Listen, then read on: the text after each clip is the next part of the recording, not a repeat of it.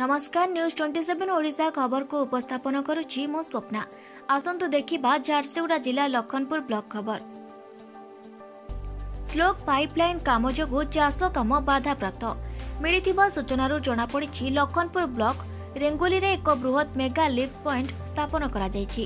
ଉକ୍ତ lift pointer ଜଳସେଚିତ ଅଞ୍ଚଳ ସୀମା ଭିତରେ ଥିବା ବିଭିନ୍ନ ଗାଁର ଚାଷ ଜମିକୁ ପାଇପ୍ ଯୋଗେ ପାଣି ମଡ଼ାଇବାକୁ ମେସିନ୍ ସାହାଯ୍ୟରେ ଗାତ ଖୋଳିବା ପାଇଁ କାର୍ଯ୍ୟକାରୀ ଠିକା ସଂସ୍ଥାକୁ ଚାଷୀମାନେ ସହମତି ପ୍ରକାଶ କରି ଉକ୍ତ କାର୍ଯ୍ୟ ଦୀର୍ଘ ତିନି ବର୍ଷ ହେବ ସମ୍ପୂର୍ଣ୍ଣ ମଧ୍ୟ ହୋଇଥିବା ସୂଚନା ରହିଛି।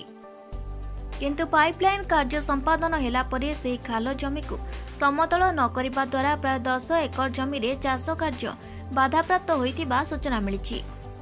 ସୂଚନା ଥାଉ କି ସେହି ଜମିରେ ଖରିଫ ଋତୁରେ ଗରିବ ଶ୍ରେଣୀର ଚାଷୀମାନେ ଧାନ ଚାଷ କରି ସେଥିରୁ ଯାହା ଆଦାୟ ହୁଏ ସେଥିରେ ସେମାନଙ୍କ ପରିବାର ପ୍ରତିପୋଷଣ କରିଥାନ୍ତି।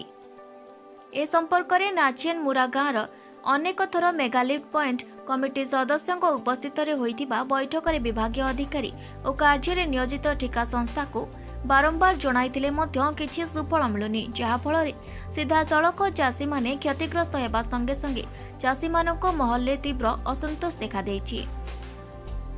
ଚାଷ କାର୍ଯ୍ୟ ଆରମ୍ଭ ହେବା ପୂର୍ବରୁ ଜମିରେ ଥିବା ଖାଲ ସମତଳ କରିବାକୁ ନାଚେନ୍ ମୁରା ଗାଁର ନରସିଂ ସେଠ ଗୋପୀ ମାଝୀ ସତ୍ୟବାନ ଗରିଆ ସଞ୍ଜୟ ସେଠ ନରେଶ ଖମାରୀ କୁଞ୍ଜବିହାରୀ ବାରିକ ପବିତ୍ର ଗଣ୍ଡ କୁଶ ସେଠୀ ପ୍ରମୁଖ ଚାଷୀମାନେ ଦାବି କରିଛନ୍ତି। ଝାରସୁଗୁଡ଼ାରୁ ରଞ୍ଜିତ ପ୍ରଧାନଙ୍କ report news twenty seven Odisha.